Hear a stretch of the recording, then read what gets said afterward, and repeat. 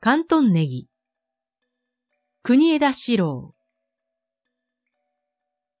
1。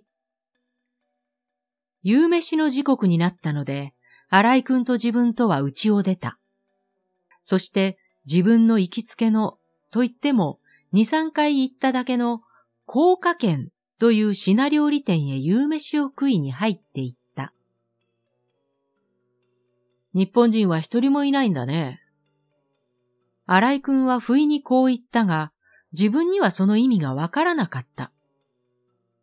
日本人が一人もいないとは？コックもボーイもシナ人だね。きっと主人もシナ人だろう。なぜ？と自分は聞き返した。特別に料理がうまいからさ。純粋のシナ人の店でなければ、こううまくは料理はできないものさ。新聞記者だけのことはあるね。君の言う通り、ここの主人は60ぐらいのシナ人だよ。その時ボーイが近寄ってきて別の料理を置いていった。さっきのボーイとは違うのだね。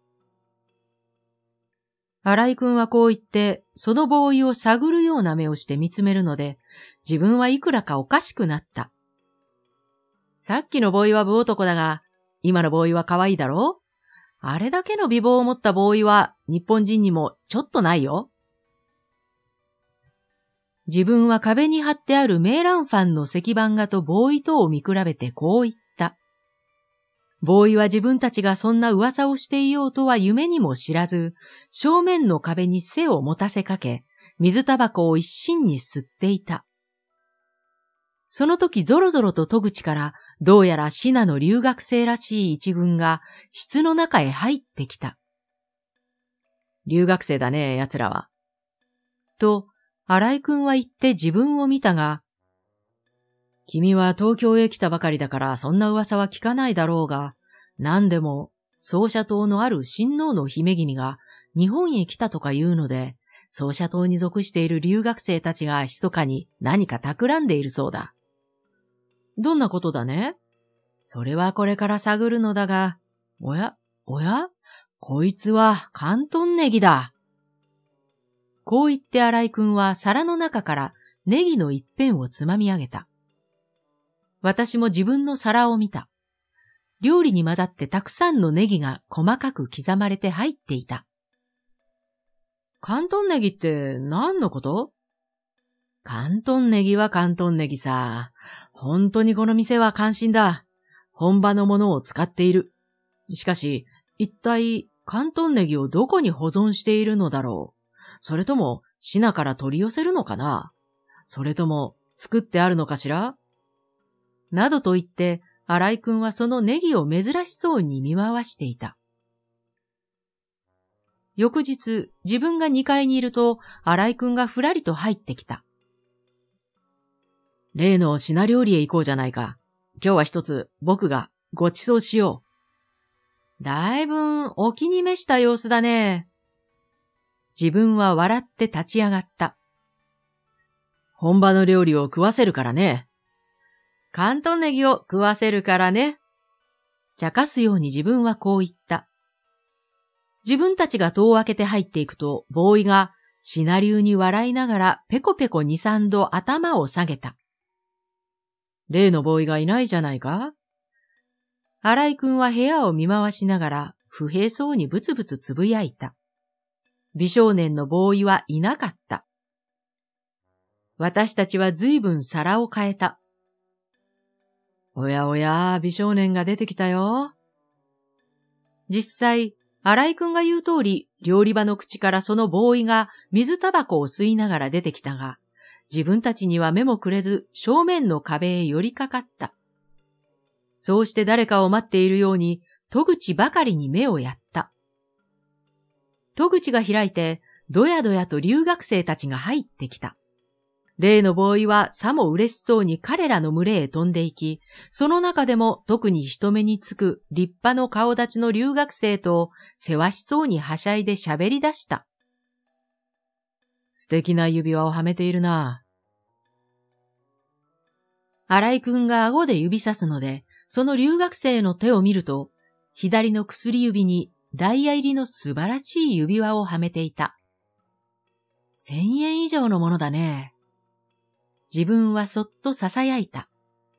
あの光沢を見るがいい。三千円以上の代物だ。荒井くんもそっと囁いた。外へ出てからも荒井くんは何か熱心に考えていたが、どうも変だよ。と、つぶやいた。何が変だい？と、聞き返すと、それには一向返事もせず、なお何か熱心に考えているので、自分はふっと考えつき、それでは、例の事件と、あの品料理の連中とが関係があるとでも言うのかい？それは明言できないがね。荒井くんは微妙の微笑みをした。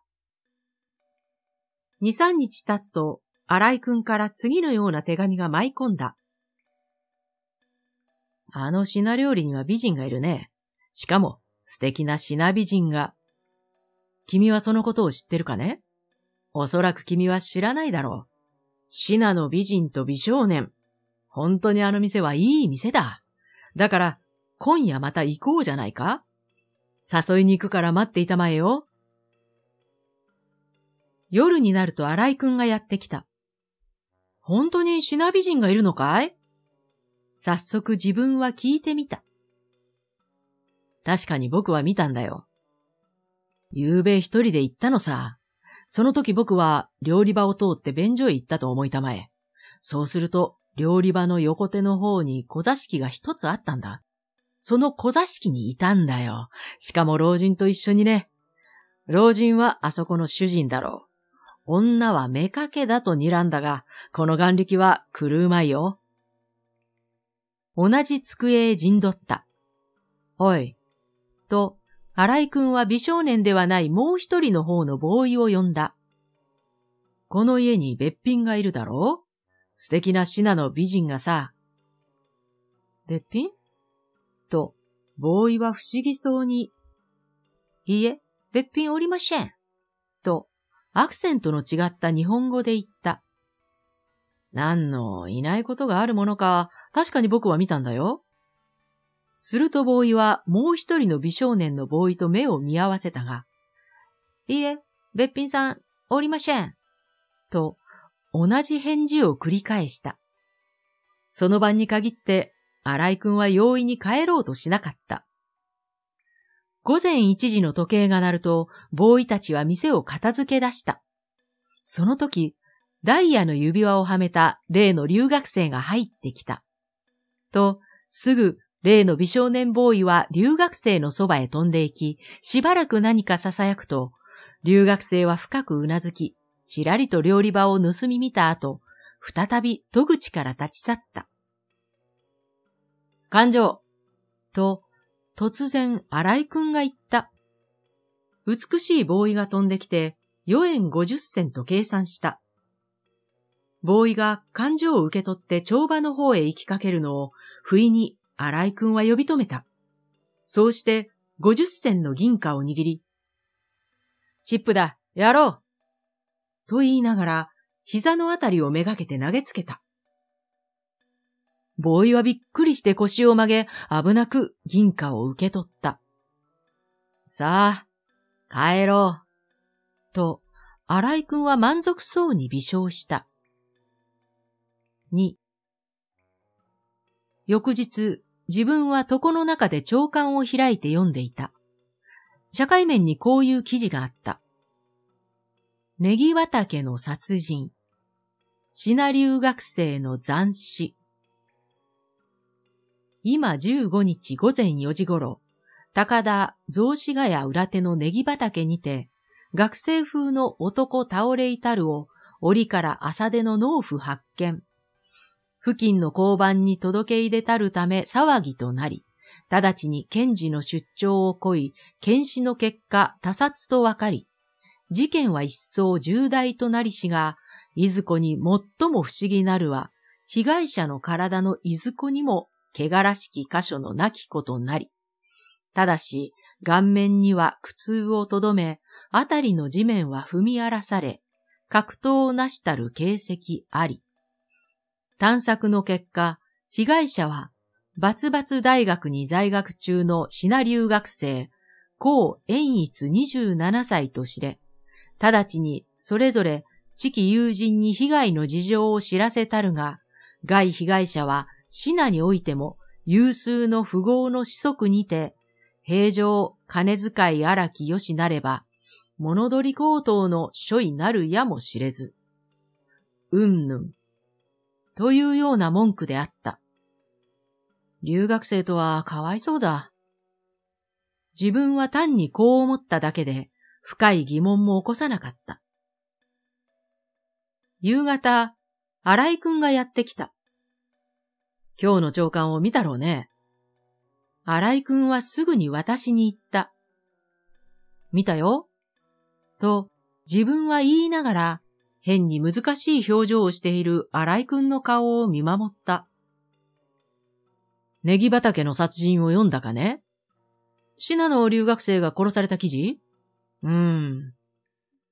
と、荒井くんはうなずいて、関東ネギの畑でね。え？と、自分は目を見張った。関東ネギの畑の中でシナの留学生は殺されたのさ。荒井くんは険しく眉を潜め、その、殺された留学生は、例の品料理でよく見かけるダイヤモンドの指輪の主だ。君は死骸を見たのかい？もちろん、現場へ駆けつけたのさ。僕は社会部記者だからね。ところできっと取られたのだろう。ダイヤの指輪ははめていなかった。自分はしばらく黙っていたが、君は、この事件をどう思うね？物取りの処理だと思うかね？さあ、と、荒井くんは考えながら、とにかく僕は事件の裏に女がいるような気持ちがするよ。恋の遺恨とでも言うのかな？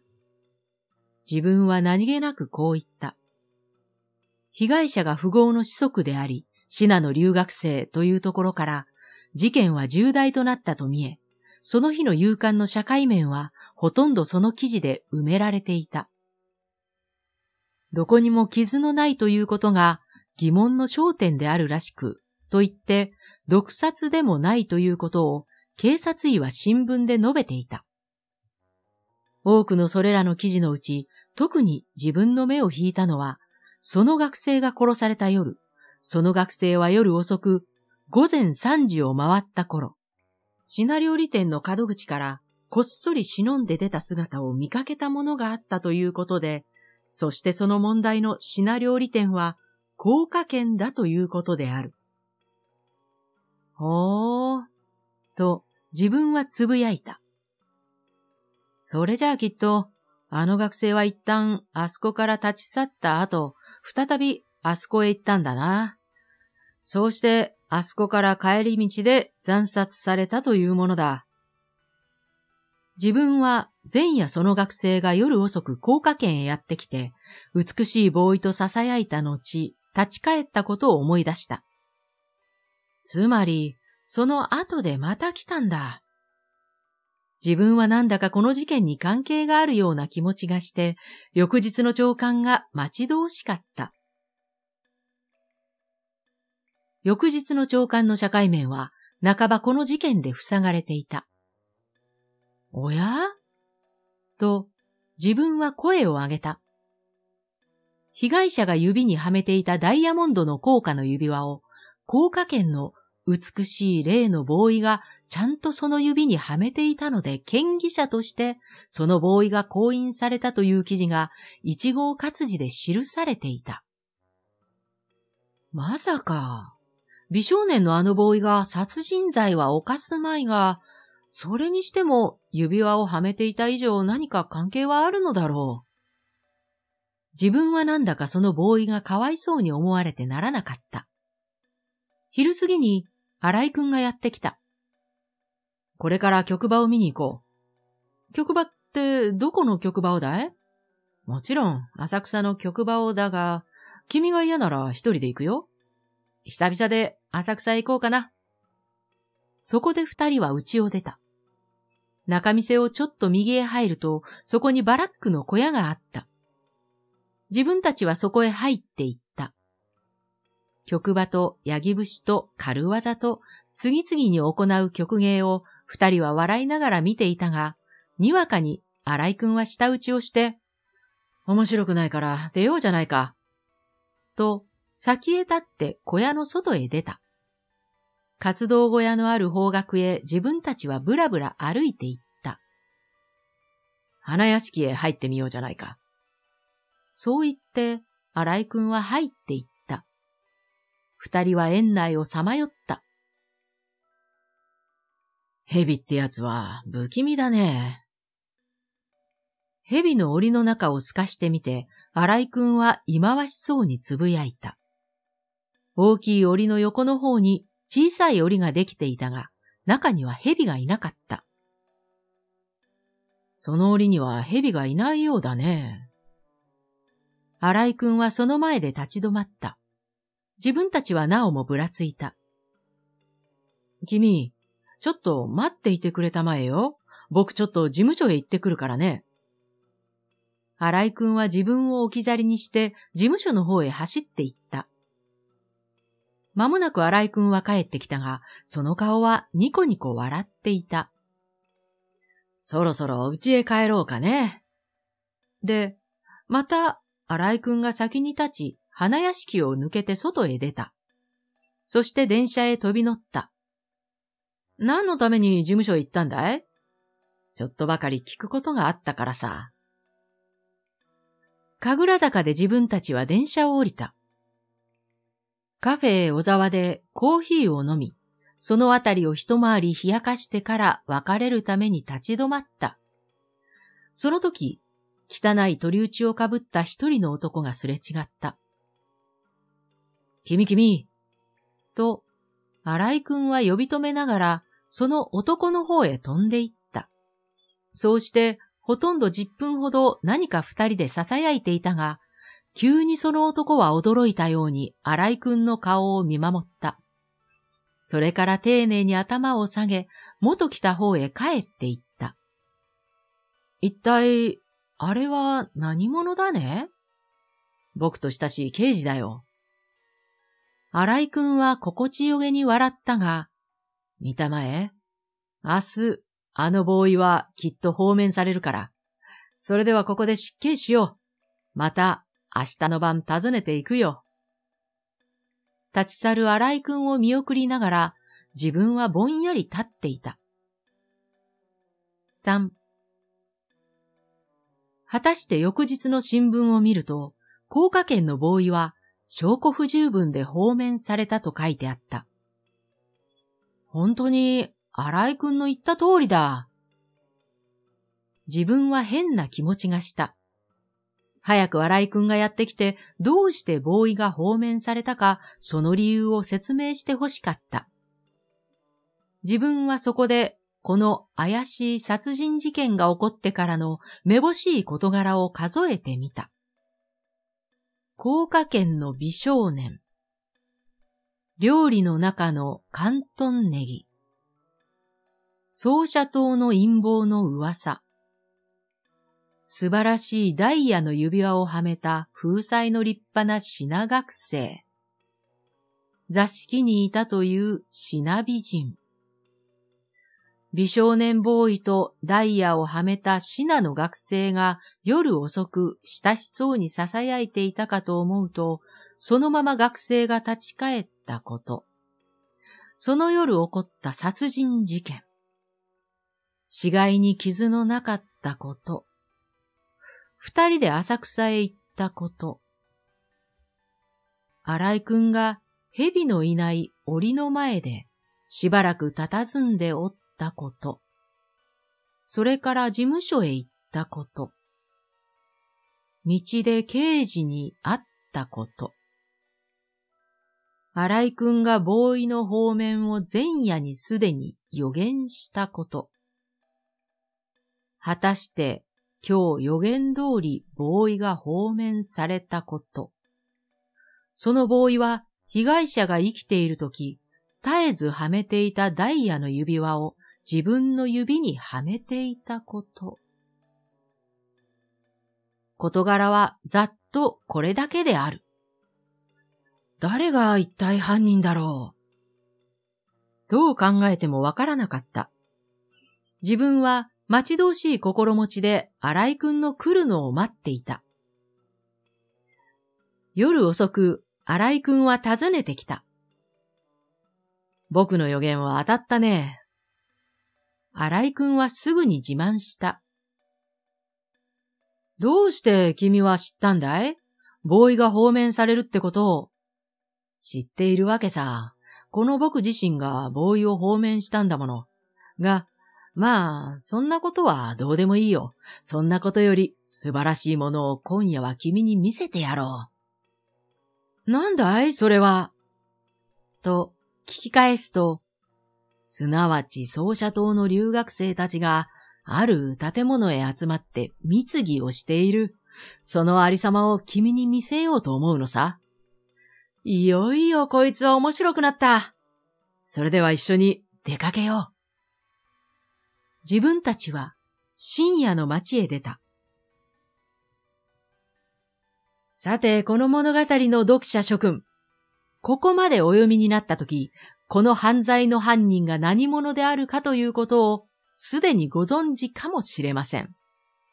私は決してコナンドイルやまたはモーリス・ルブランやないしガストン・ルルーのような探偵小説の大家ではなく、ほんの駆け出しゆえ、自分では隠しているつもりでも、いつの間にか事件の底を割り、もうその犯人の何者であるかを露見させているかもしれませんが、しかしあるいはそうでなく、読者諸君をゴリ夢中に迷わせているかもしれません。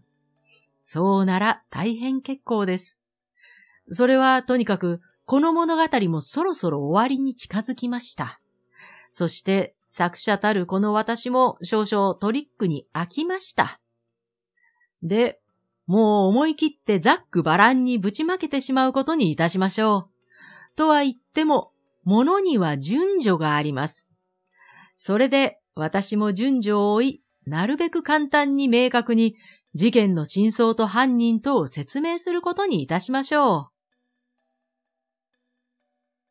自分は荒井くんの後について夜の巷をさまよいました。そうして郊外の一箇所に夜の暗黒に包まれて、ある一軒の洋館に近づいた。窓が一つだけ開いていて、木陰が漏れている窓を通して内部を見ると、たくさんの人間がいるようだ。そして誰かが大きい声で演説をしている様子だった。向こうに見える洋館がその本部だよ。荒井くんが自分に囁くので、自分はなおも熱心にその洋館を見ていた。そのうちに自分は何気なく荒井くんを振り向いてみると、不思議にも荒井くんは洋館とは反対の方面を見つめているではないか。で、自分もそっちを見ると、遥か向こうの暗黒の中に提灯の明かりが一つ燃えていた。はてな。自分がそう思った瞬間に、荒井くんがその方へ走り始めた。自分も訳がわからず走って行った。その明かりに近づいてみると、警官が五六人と、背広を着た四五人の人がそこにいた。その中の二人がかなり大きい檻を支えていた。やあ、と、荒井くんが声をかけると、警官も背広服も一様に丁寧に頭を下げながら、おかげさまで、と言っていた。荒井くんが自分に進めるので、自分は檻の中を覗くと、檻の中には草色をした二尺ほどの蛇が首を上げ、真珠のような丸い目でキラキラ自分を睨みました。関東蛇だよ、あの蛇は。その一行が立ち去るのを見送りながら、荒井くんは満足そうに言った。そして足元を指さして、見たまえ、この辺り一面を、関東ネギの畑だよ。それがどうしたというのだね自分は愚かにも尋ねた。関東ヘビは毒ヘビだよ。そして非常に関東ネギの味と匂いを好むのさ。それがどうしたというのだね？花屋敷の檻を逃げ出した関東蛇が、この畑のネギの間に隠れていたのを、夜遅く、合いびきから帰ってきたかわいそうなシナの留学生が、知らずにそいつを踏んだので噛みつかれて死んだというものさ。それじゃあ、蛇が犯人だね？そうだ。と、荒井くんはうなずきながら、この犯罪の裏面には女がいるということを、かつて君に僕は言ったはずだ。果たして女がついていた。高架圏にいた美少年ボーイ。あれは実際は女なのだ。あそこの主人の目かけなのだ。そして被害者の留学生は、あの品美人の丈夫なのさ。美少年ボーイが女だって？君は不思議に思うだろうが、あれは実際女だよ。この前僕は品料理店に品美人がいると言ったろその時、僕の見た品美人とあのボーイとが似ているので、はてなと僕は思ったのさ。で、それをはっきり確かめるため、この前あそこへ行った時、君も十分知っている通り、50銭銀貨を投げてやった。そうするとボーイは慌ただしく両足をきっちり膝へつけ、前方へ曲げて受け取った。で、僕は女だと確信した。自分はすっかり感心して、荒井くんを改めて見つめました。推理ついでにこの犯罪をいかに我が輩が解剖したか、そいつをみんな説明しよう。